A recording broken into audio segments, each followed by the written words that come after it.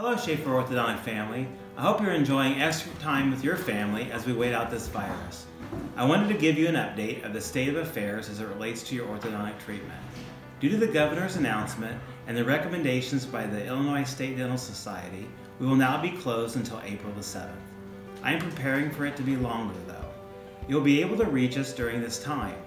We'll be answering calls and messages.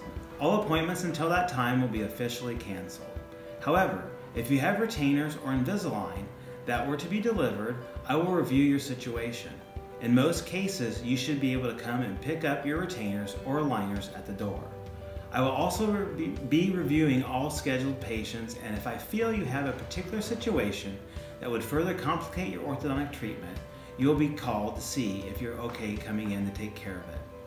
Also, stay tuned for another announcement in the coming days to see how those with Invisalign might be able to continue their treatment virtually.